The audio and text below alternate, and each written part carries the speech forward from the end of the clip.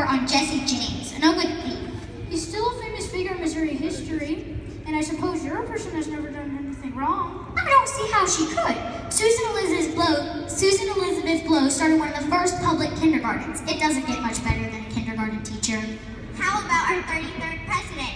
My family is related to Harry S. Truman, and we've been to visit his birthplace in Lamar, Missouri.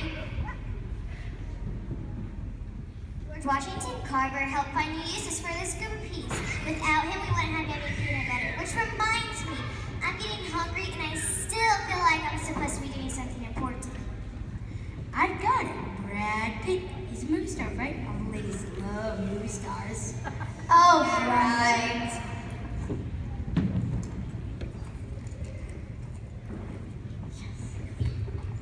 Show me a P and we'll honor a president. Truman was his name. Twain and Carver were also men Missouri's is proud to claim.